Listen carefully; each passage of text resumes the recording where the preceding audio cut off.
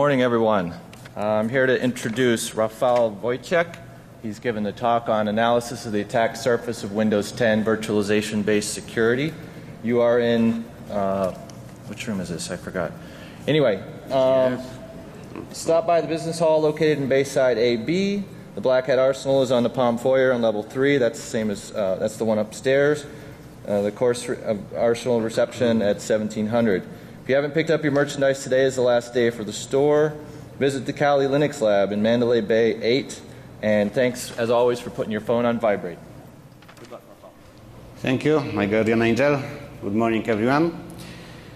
Uh, so, what shall we talk about today?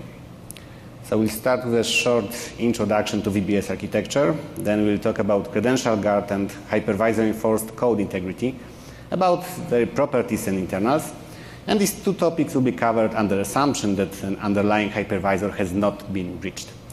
And we'll cover the topic of Hyper-V security later. Uh, again, we are mostly interested in the complexity of the solution and the attack surface. So I will be talking about attacks that work, that potentially work, and that do not work as well, because each teaches you something, right? And generally, more details are in the white paper, so if you are interested in, in more details, have a look. Uh, scope, mo most of this research was done with Windows 10, 15, 11, so no, it's not about anniversary update, sorry. Uh, it's about Intel's hardware when relevant, and there is mixed origin, little known, and for completeness, uh, well-known content. Okay, so VBS architecture. I sincerely hope that most of you are familiar with the concept, because if you don't, it will be probably difficult to follow the presentation, but as an introduction, so when Hyper-V is installed and virtualization-based security enabled, uh, Windows 10 operating system no longer has full control over the whole machine. Instead, it is running within a VM, within a virtual machine. It's named root partition or VTL0. And as any uh, virtual machine, it is subject to a number of restrictions. For instance, it is the EPT table, uh, which is structure maintained by the hypervisor, uh, that dictates whether a given physical memory is readable, writable, or executable. It's no longer uh, under control of uh, the kernel. There is another VM created automatically. It's named VTL1. And it has its own kernel, it has its own user mode, and its purpose is to enforce policies, security policies, as well as to provide set of services to the root partition. And why all this trouble? Uh, because the threat model is that uh, Windows operating system has been compromised up to the point of malware possessing kernel privileges. So you no longer can expect uh, the Windows kernel to enforce security policies because it has been compromised. You need something external, more privileged. And finally, uh, beware that all the VBS is about preventing or limiting very specific set of attacks, right? Um, many actions typical for malware, like exfiltrating sensitive data or ransomware or connecting to uh, internal network, are not obstructed in any way, right? So this, this is solution just for a couple of selected attacks. Okay, so the first item is credential guard. So the idea is that uh, credential guard is supposed to prevent pass the hash attacks. So without credential guard, uh, in LSASS process, in the Windows operating system, in its memory, the hashes of the passwords are kept, at least for the duration of the logon session, uh, so that the single sign-on can work, right? And the problem is that uh, attacker can steal these hashes, right? Extract them from LSASS memory, and then uh, use them to authenticate remote servers. So the idea behind Credential Guard is that uh, this time these clear secrets authenticators are stored not in LSASS but uh, elsewhere within this protected VTL1 virtual machine. And LSASS only holds encrypted version, right? So let's see how, how it works. Um, Particularly if you run Mimikatz on uh, credential guard protected box, you no longer can see NTLM hashes, right? you can see that all it can get is some large binary blob, and it says it's LSA isolated data. Yeah, so that's nice. Okay, so let's, let's have a look at details. So uh, there are different possible configurations uh, related to credential guard. And the first one is that what happens if admins just enable credential guard in the group policy? So just tick a single box in the dialog, no further hardening, right? It's nice, easy to deploy. So let's see what are the properties of that scenario. So uh, credential guard main process is named LSA ISO. It runs in this protected VTL1 machine, and it exposes uh, RPC interface uh, over some ALPC port. And this is the list of all the methods available to LSASS. And LSASS talks over this RPC interface extensively. And we, the most interesting methods are these two, protect credentials. So this is used during the logon. So when LSASS receives uh, credentials during the logon, it passes it to LSA ISO over RPC, and LSA ISO responds with encrypted credentials. And at this, from this moment on, LSASS can just discard all the plaintext authenticators and just keep the encrypted version. Uh, so how, how to use it? Another example is get NTLM3 challenge response. So whenever uh, authenticators are actually needed, right, for instance, to compute NTLM response, again, LSASS must talk over RPC to LSA ISO. And in this case, it passes uh, the blob with encrypted credentials received in the previous step, plus NTLM challenge, username, etc., etc., anything that's needed to compute NTLM response. And LSA ISO is capable of decrypting the credentials, right, because it has the key, and then use it to compute uh, NTLM response. And then it passes back uh, NTLM response to LSASS, so it can um, respond it, send it to the server. So that is how it essentially works. So what are the properties? Again, after logon, no clear text credentials in, LS, in LSASS. That's, that's good. Still, uh, while user is logged in, LSASS will authenticate remote servers automatically via using this RPC mechanism. But the problem is for attacker as well, right? If someone has compromised uh, the machine and runs code as the user, attacker will be authenticated as well. Even more interesting is that uh, if attacker collects encrypted blob, then he can still use directly RPC interface um, to credential guard and still authenticate as the user even after the user has logged out. This is more interesting. And let's, let's have a look at demonstration. Maybe it will make it clear. Okay, so what we see here is the victim point of view. So it has logged to some Windows machine. It is logged as domain admin. And this is attacker point of view. Uh, so attacker already has compromised this machine and uh, received connect back shell and it runs with privileges of uh, system user. So uh, as we can see from task list, uh, LSA ISO is running, so credential guard is enabled. Uh, so what we will do, we will inject a DLL into LSASS process in order to monitor the RPC traffic to credential guard. To monitor it and also to mess with it to some extent. So we can just inject the DLL. Okay. So now let's see the user, some user is still logged on. So what we can do, we can just steal a token right? So retrieve a token from an existing process, for instance, from Explorer exe, and if, once we do it, uh, we run our process as logged in user, right? From the point of view of the operating system, we are the logged in user, right? And because this user is still logged in, uh, we can just use his credentials to authenticate to any remote server, right? Again, operating system thinks we are the logged in user, Okay, so that, that was expected. So now let's try to do something more complicated. Okay, let's have a look at the logs our injected code has produced.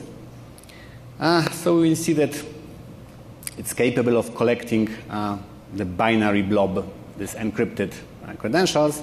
We can see this encrypted credentials has been written to this particular file. And we can see that different uh, RPC methods had been invoked. Okay, so now let's see what happens once the logged in user logs out, right? Once the user logs out, then uh, logon session in LSASS is destroyed. So no longer you can steal a token from an existing process because there is none. So instead, uh, what we will do, we will run run as utility uh, in a particular network-only mode. So that's, that's little known that you can run this utility and uh, say what username and what password should be used when authenticating to remote servers, right? So we will still run as system user, but for the purpose of network authentication, we will use some fake password and username. Of course, it's the fake password. We don't know the real password of, of the user. And we have this run as session on a separate uh, TCP port. So obviously, if we just try to authenticate to any domain server, it's not going to work, right? We don't know the password. We gave it some fake password. So obviously, that's not going to work. Now, what we'll do, we will use uh, the credentials, the encrypted credentials that we have collected previously, and tell uh, our injected DLL to actually use them for any authentication attempt. So uh, it works by copying this captured encrypted secrets um, to this particular magic name. So now we tell LSASS use this captured encrypted credentials. And now if we try it again, then it works, right? Despite the user has already logged out, uh, we can still use the captured uh, encrypted credentials to authenticate. So again, we don't know the password, we don't have password hashes, but still we can authenticate to remote servers as this user, even after the user has logged out. Okay. There is one more problem which I have left purpose, purposefully for later uh, about credentials during login. Right? Because there is a problem that somehow uh, these unencrypted credentials must be somehow initially delivered to credential guard, right? Via this protect credential uh, RPC. So it means if an attacker is present uh, when the user is logging in uh, and the user is, uses password-based authentication, it's enough to just run keylogger, right? And you will capture the clear text user password, right? And again, all this uh, setup does not prevent it. If we use smart card based authentication, then still uh, the key distribution center sends uh, password hashes during the logon, and again, they can be captured before they are deposited to credential guard and encrypted. And this particular problem about uh, clear text credentials being available in root partition during the login can be taken care of with the help of more complicated configuration. So what you need for that is credential guard with armor key protection and smart card based authentication. And it's more difficult to deploy and in fact it requires TPM because without TPM it doesn't make much sense. So how it's supposed to work? Uh, in this configuration there's another key named machine key, right? This machine is this key is specific for a given machine and it's available only to credential guard, only to this VTL1 protected VM. And uh, the responses from KDC that uh, carry authentication material like hashes or, or, or, tickets are encrypted with this machine key. So because of that, uh, even during the logon, the plaintext authenticators never show up, never show up in the clear in the root partition. Root partition can see uh, them encrypted with machine key, and it's only credential that can actually have access to them. So that's nice. That's resolves this problem about uh, credentials during logon. But even in this configuration, uh, the same problem remains that uh, attacker can still interact with credential guard and have it perform all single sign-on supported authentication for remote resources, right? Again, the problem is that uh, it's difficult or impossible to tell that differentiate from the legal process of a legal user and process started by an attacker? And also there is no reliable way to deliver user has logged out, so forget all the credentials, refuse future single sign-on message to credential guard. It's, it's simply not doable. Okay, so short summary uh, in two words. Without credential guard, attacker can collect password hashes and use them later to authenticate to remote servers anytime from any machine. If credential guard is deployed in its hardened configuration, then still uh, an attacker can collect encrypted password hashes and then again use them to authenticate to remote servers, just as before. But he has to do it from the same machine that uh, these credentials were collected, right? So he is restricted to the same infection point. Uh, whether it's easy for an attacker to adapt to this new condition and like start all the lateral movement from the same machine, it might depend on the precise scenario, but anyway, uh, it's good to be aware that uh, again, credential guard does not prevent using the credentials on the same machine. And again, uh, we didn't need any sort of hypervisor compromise, right? It's still, it's all how credential guard is supposed to work, how it's designed to work. Okay, so now topic number two, uh, hypervisor enforced code integrity. So Windows 10 can enforce code integrity of user mode binaries, user mode scripts, and kernel mode code. And the latter is done with the help of VBS. And we focus on, on kernel mode case. And the goal is ambitious. Uh, we, we try not to allow execution of any unsigned code in kernel context in the root partition, even if the kernel has been compromised already. Right? So that's interesting.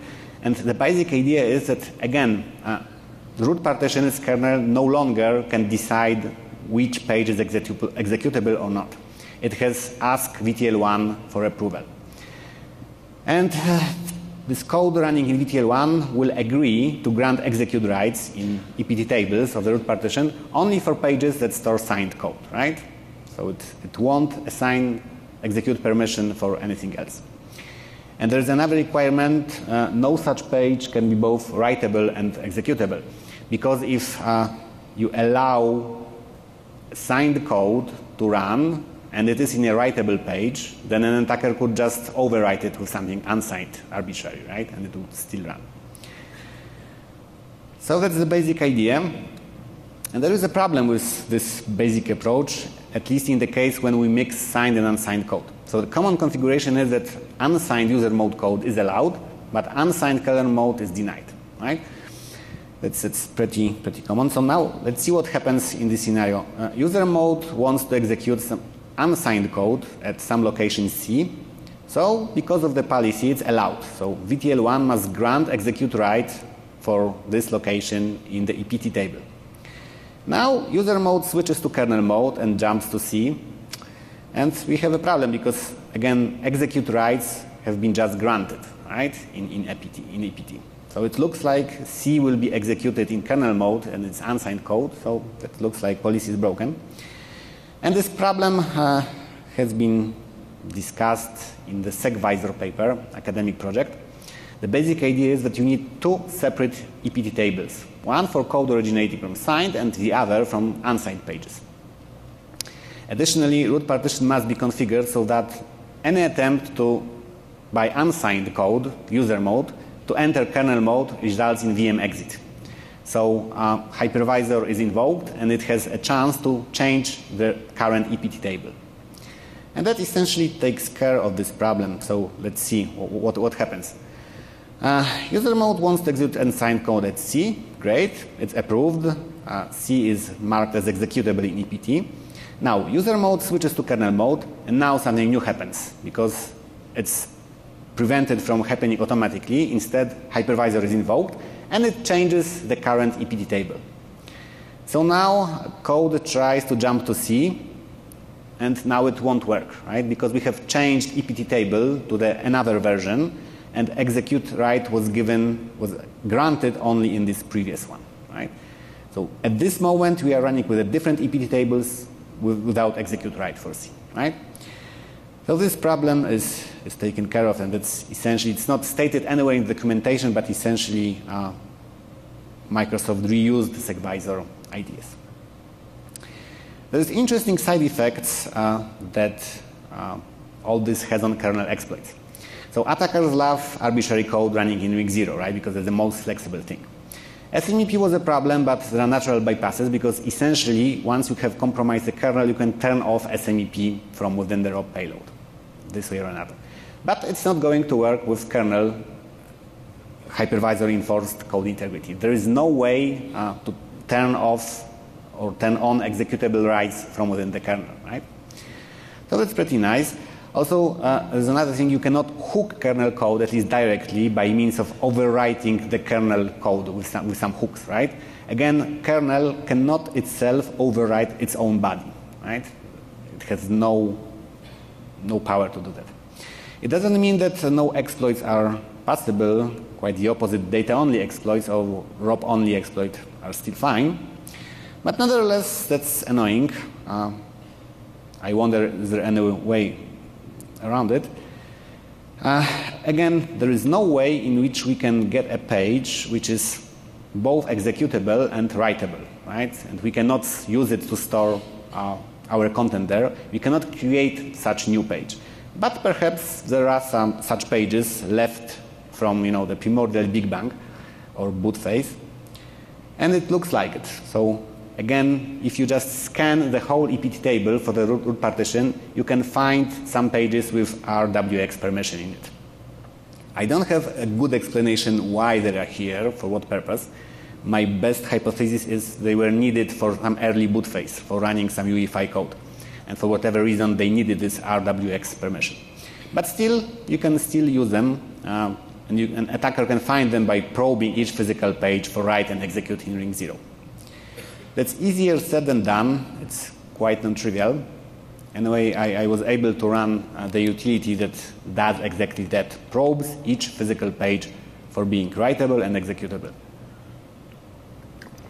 And as you can see in the output, most of the pages are indeed not both writable and executable, but there is at least one large contiguous physical address range which is writable and executable. This utility precisely tested by writing to this page and then executing it. So I reported that problem in Microsoft like at the beginning of this year and they fixed it in, in, in this Microsoft bulletin in May. Uh, okay, so let's, let's start another topic, Hyper-V security. One important thing to be aware of that uh, we have a very unusual threat model here because there are a lot of you know, publications and literature about uh, hypervisor security, but almost all the time the threat model is that there is some VM, usual worker VM, without, for instance, direct access to hardware, and we try to protect hypervisor against attacks originating from these unprivileged worker VMs. Particularly without VBS enabled, root partition is kind of trusted, right?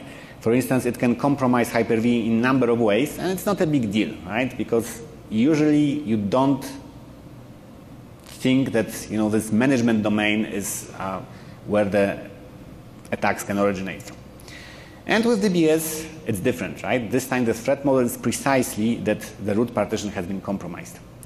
So as you can imagine, again, it's totally different from any other uh, hypervisor security topic, and much more difficult uh, so even to start thinking about securing hypervisor uh, against root partition, you need three things. You need secure boot, because without it, uh, root partition can just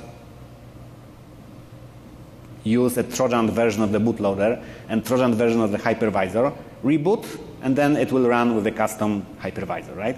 Again, it's because root partition can mess with boot process, right, by specifying boot order, etc.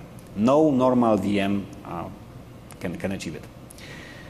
Still beware that there were many vulnerabilities in the past allowing secure boot bypass, so uh, you have to be aware of that.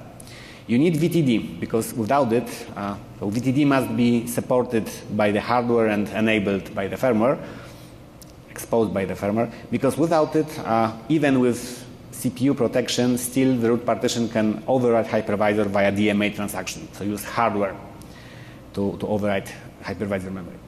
And finally, you really need TPM because it's needed to secure S4 process, as you will see below.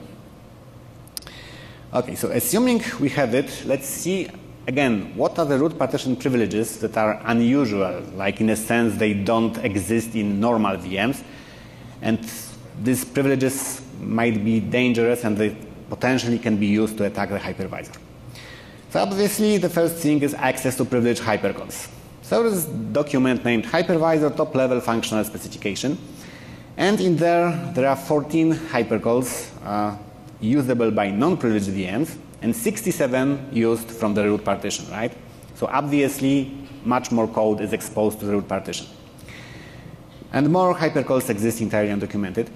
Even more interesting part is that previously all these privileged hypercalls uh, were not considered to be an attack surface, right? Again, they were usable only by the root partition, which used to be trusted, but now the situation changes, right? So Microsoft had to essentially harden all the usage of this privileged hypercall so uh, no harm can be done against the hypervisor. And there exists at least some potential possibility that they missed something, right? So definitely that counts as attack surface. What else? Root partition had access to almost all physical memory range. So obviously it cannot access the pages which are allocated for hypervisor and VTL1, because that, that would be direct bypass. Also, local APIC and VTD bars are not accessible. Again, if they were, that would constitute easy bypass. But other things are accessible. So particularly chipset and PCI devices memory mapped I.O. is available. And that's, that will be useful. As well as ACPI NVS memory region. So some memory region reserved for the usage of UEFI is still available from the root partition. I.O. ports. So again, no normal VM has ever access to physical I.O. ports, right? And in case of root partition, it's different. All are available with some exceptions that are known to cause problems. So like port 32 and 33 can be used to disable interrupts. So we don't want root partition to be able to do that. Port hex 64 can control a 20 gate set, a 20 gate setting, and again that's not, that's, that's dangerous. Port CF8, CFC are used to access PCI config space. And obviously, Hyper-V does not like to grant root partition direct access to mess with the PCI config space. And the most bizarre one is port 1804. It is an I.O. port that is used uh, to trigger S3 sleep. So if it was exposed to the root partition, it could enter S3 sleep by its own. And that, that would be very dangerous. So these are the known ports that, that cause problems and they needed to be removed from access by root partition. Model-specific registers are also relevant because some of them have interesting semantics related with hardware, but essentially uh, all, none, none, of MSRs are directly usable by root partition. So it's not very useful. Okay, so by using these uh, privileges that I have described already, what mischief can be done, right? And the first problem is that uh, the region to MMCFG region is, is not denied, right? So MMCFG is region of physical memory address space, and it's configured by the chipset so that uh, whenever CPU accesses that, it is translated into PCI config space accesses, right? So there is one method to access PCI config space by these I/O ports, and this is, you know, protected by Hyper-V. But this method, by using memory mapped access, is not restricted in any way. And what, what mischief can be done with it? Obviously, you, by accessing PCI config space, you can access and change device-specific register, including the chipset. And there are very interesting registers in there. For instance, remap limit and remap base register, which are again in PCI config space, can be used to create physical memory aliases. So you can configure them so that two different physical addresses actually refer to the same location in DRAM. And that essentially allows you to break any hypervisor security. Fortunately, it's a well-known attack, and these registers are locked. Right? So even though they are accessible, they are locked by, uh, by the chipset. Are, it's possible that there are other interesting ones which I am not aware of. Uh, what else can be done with this config space access? You can change memory bars location, right? So you can configure a PCI device to claim uh, the memory access cycles that uh, are targeted to a particular address. And the idea is that you can kind of overlap, for instance, RAM, normal memory, with PCIe memory, right? And you hope that this RAM is somehow important for the hypervisor, and if uh, instead of accessing this RAM, you access PCI memory, then some malfunction can happen. But as far as I know, that's not going to work. It is kind of explicitly stated in Intel documentation that you cannot, uh, PCI device cannot claim cycles which are targeted to RAM range. Which is a shame, but is there anything else that we can try to overlap or cover with memory range assigned for PCI devices? And there is one, namely VTD bars. So again, VTD bars are is the memory range which you use to configure VTD engine that uh, is used to control DMA accesses. And this screenshot is from Linux because it's easier to explain, but again, it's less independent. So what we see here is, okay, we can figure out what is the address of the VTD bar. And if you try to read from this physical address, you get some output, particularly this location uh, is the capability register of VTD engine. And originally, uh, VGA device, integrated graphics, has memory mapped at, at this address, but we are going to change it. We will assign this memory address, originally used by VTD bars, and we will assign it to the memory bar exposed by integrated graphics. And what happens afterwards? If you try to read physical memory of this the same address, you get plain zeros, right? So by, by doing this, uh, you deny all entities on the system, including the hypervisor, you deny it access to VTD configuration. And that's very interesting. Same can be done with the second bar. And I got pretty excited when I saw this, and I even started writing exploits for that. Uh, but it didn't work, unfortunately. The reason is that despite apparently you can create this overlap situation, and apparently read accesses are directed no longer to VTD but to this PCI memory. When you try to do write access, it results in hanging the platform. I do not understand precisely what's happening, right? But that's at least on two different boxes that, that was the behavior observed. Maybe it can be somehow, you know, improved to actually work and do not uh, hang the platform. Okay, problem number two, other chipset registers. So still, uh, there are other memory mapped regions, like in MCH bar region, and there are literally thousands of registers in, in them. And these, these are very fragile registers that, for instance, uh, are related to handling of physical memory or controlling DRAM. And again, most of them are entirely undocumented at all. So that a question arises, are all of them locked properly? Are all of them lockable at all? And does firmware actually locks them, right? And if not, anything even can be done with that? I don't know answer to this question. Again, the problem is that uh, there is some undocumented functionality that we don't know the full semantics of it, right? And still, the root partition is granted full control over it. So that's, again, at least a potential problem. Another problem is S3 sleep right? So generally S3 is very fragile from security point of view. Because what happens is that hypervisor loses control, right? Uh, CPU is powered down, and then you have to kind of trust that the firmware does the right thing. So first of all, it maintains its own, own integrity, and then uh, hands off control to hypervisor during the resume in an expected manner. And there was a vulnerability found in 2014 by me and Corey Kallenberg, as well as uh, simultaneously by Intel guys, that are perfect for the purpose of taking control over the hypervisor, right? Uh, you could corrupt the resume process so that arbitrary code has been run before uh, hypervisor was resumed, right?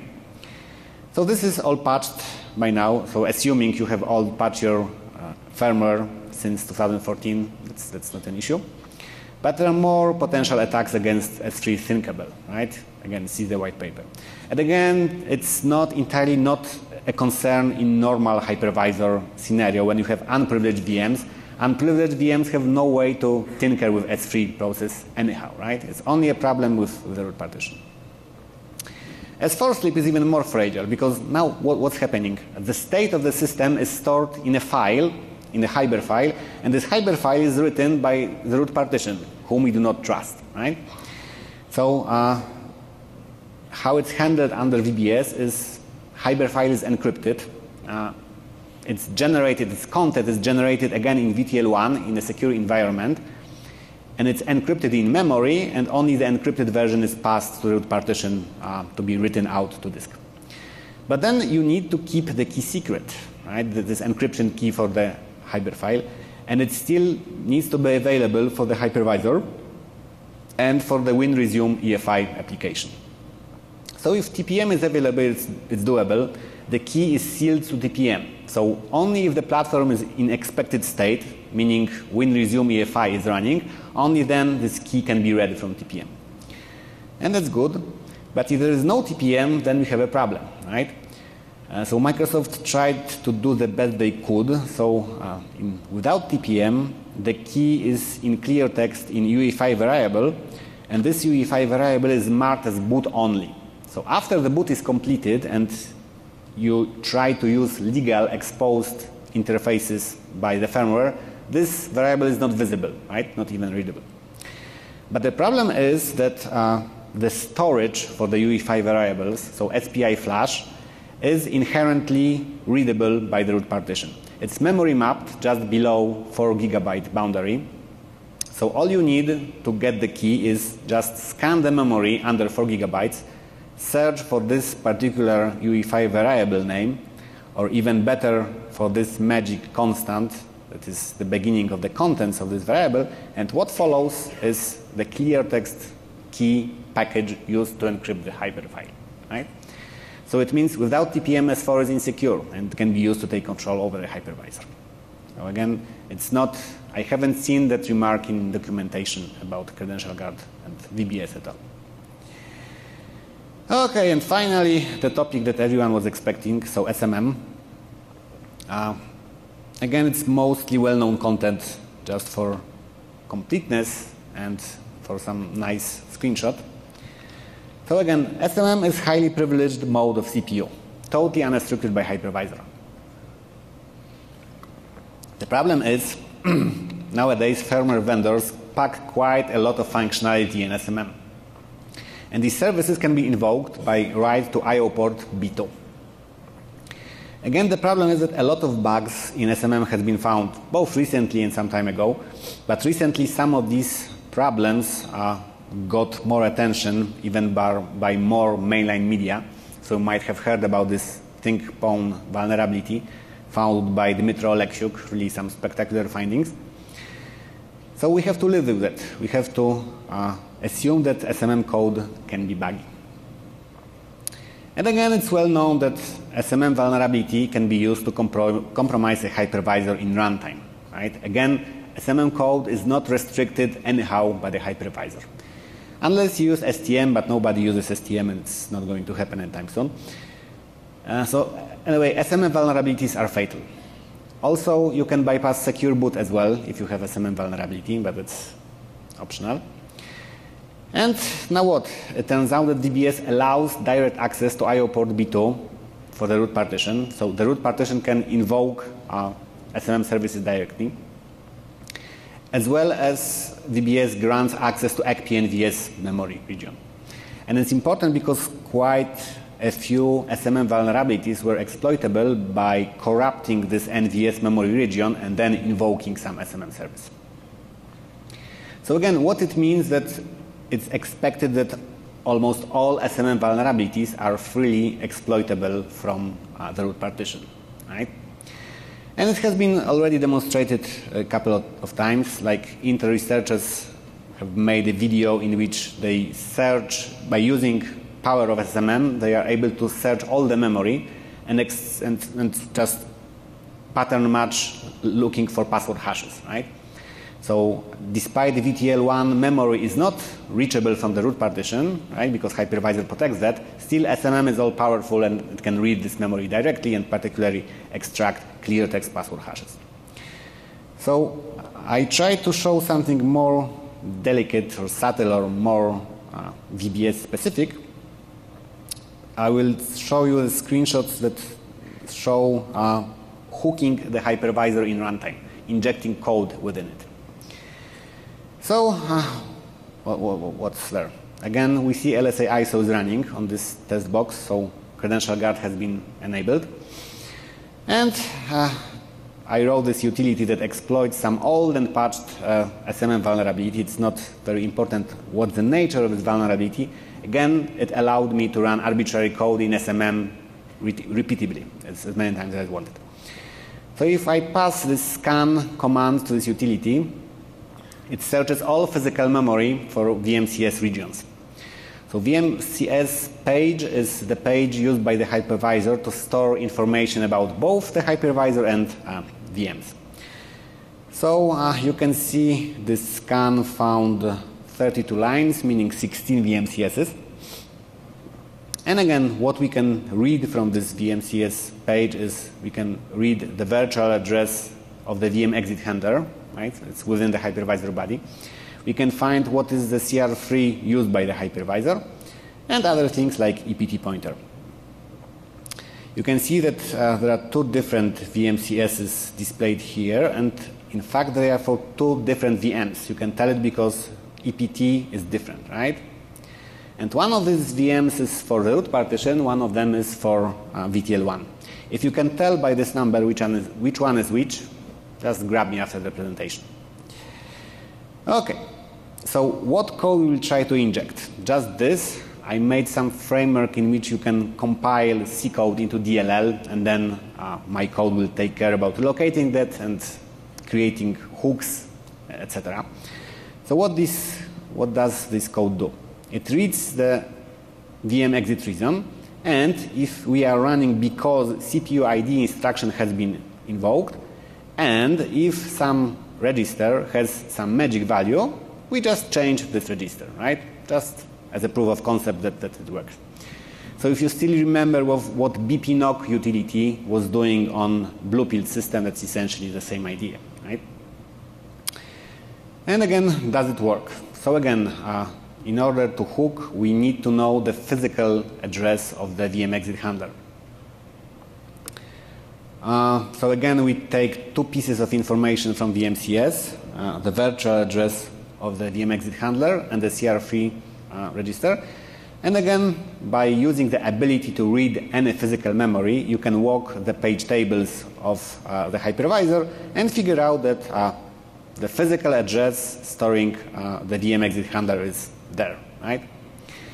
And you can read the beginning of it. You can see that it looks like x64 assembly. So what, what do we do next? Uh, we run this magic CPUID utility. It just executes CPUID instruction with the proper value in R13 register. And what does it say? That before CPUID, R13 has this magic value, and after CPUID instruction, it still has this magic value, right? It's expected because uh, Hyper-V doesn't change R13 register when emulating CPUID. Okay, and finally, uh, we use this hyperhook command to actually override the hypervisor body with uh, the DL, with, with, hooks and also place DLL in an expected location.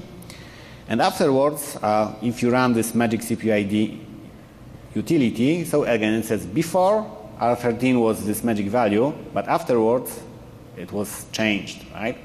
So that shows that indeed uh, we are able to alter the behavior of the hypervisor, right? We run arbitrary code in the context of it, and we can change any aspect of hypervisor functionality. And this is all in runtime, right? So that's, that's very powerful. And again, if you control the hypervisor, you can do many interesting things. You can, for instance, monitor the behavior of uh, credential guard. You can see what uh, what VM exit it generates, etc., etc. So again, that, that shows that SMM vulnerability can be used to totally subvert all hypervisor security. And that's, that's pretty much it. So summary, despite its limited scope, VBS is obviously useful, right? So uh, it blocks some attacks which are straightforward without it, right? So it's useful. But again, beware of the limitation, right? Be, beware about the design. Again, obviously, a lot of effort by Microsoft has been devoted to make it as secure as possible, right? But still, they needed to make some trade-off to maintain compatibility. And still, there is some very unusual attack surface. Particularly, the exposure of a lot of hardware access to root partition is worrying, right? There might be problems with that. Definitely, you strictly need VTD and TPM uh, in order to secure Hyper-V. Again, you may infer from Microsoft documentation that VTD and TPM are kind of optional, right? Nice to have, but optional. And it's the other way. It's strictly necessary to maintain security of, of VBS, along with secure boot, of course. And still, uh, SMM vulnerabilities are the greatest threat to this setup. Again, they are not very uncommon. They happen all the time. It's true that it's potentially more challenging to exploit SMM vulnerability, and they are specific to a given firmware make, right? But for instance, in case of this thing pwn vulnerability, all the line of all the laptops by the single vendor was affected, right? So it also happened. So again, this is a problem, and uh, again, there are known examples to, to use SMM vulnerabilities to totally break any VBS security promise. Okay, that's about it. Uh, we have some time for questions. Anyone?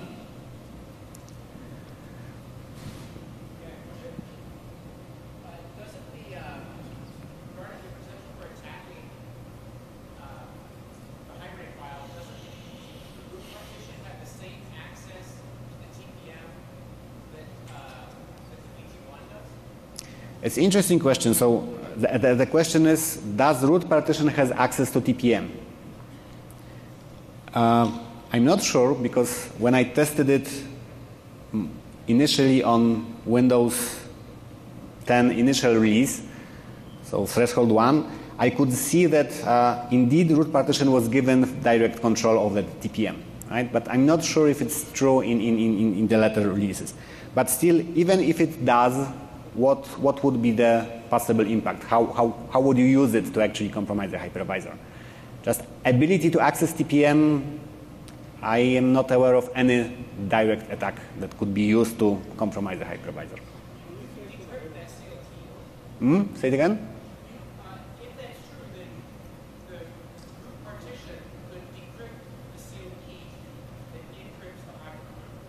that encrypts what? Yes, but it's, it's assuming Microsoft did it properly, so after reading the key, it changes the PCR values, right? It's no longer possible, right? If, if the encryption key is sealed to particular PCR values, meaning particular state of the platform, then it's not possible. Um, I haven't checked that. I assume they did the right thing because it's, it's more or less obvious, right? That you need to do that.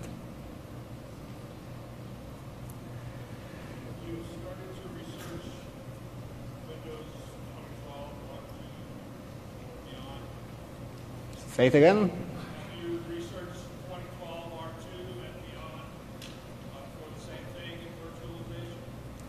Research Windows what? Windows 212. Ah, 212. Uh, no, I, I didn't. I just focus on Windows 10 because, again, it's I'm mostly interested in client-side uh, security solutions, so that's my main field of interest.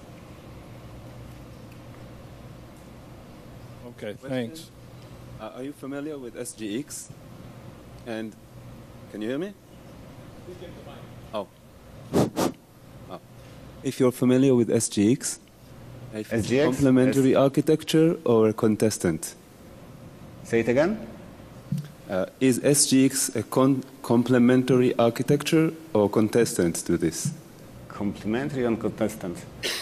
Uh, I don't think you could implement same things with SGX.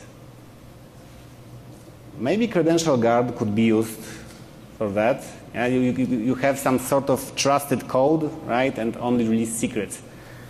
Uh, that's interesting question. Maybe SGX looks much more reliable, right, because uh, again, it just carves some memory and runs code protected from everything else in it and you have some guarantees that it, that it cannot be tampered with.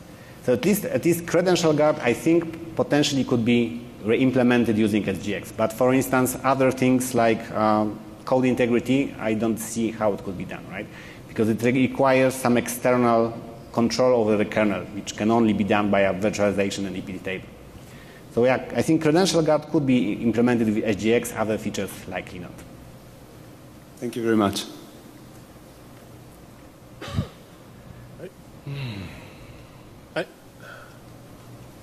Hello. Um, in your first example on the um, encrypted token for the single sign-on, there's absolutely no TTL on that at all. Is that something that can be configured With absolute no what? on the session token for the encrypted um, token that you get, the session Ah, token, okay. right? Yeah. When you're doing the I, replay. I haven't I haven't seen it expire anytime. Yeah, that's a good question. They could add it, uh, but then if they added any TTL or expiry time, it would mean that in case of legal user, right, using it, he would get he, he would be prompted to relog in, right? Yeah, That so- kind of impacts usability. Uh, same is about uh, Kerberos tickets, right? TGT has expiry time, I think default seven days. So after that, user needs to relog. And again, implementing this shortened lifespan of, of credentials might help. But again, it impacts usability and doesn't entirely solve the problem, right? Because if you have like you know, two days uh, to start lateral movement, possibly it's enough, you know, to compromise the whole network. Right? I'm thinking It's not- three to six hours, but yeah, thanks. Okay. I guess that's it. Thank you.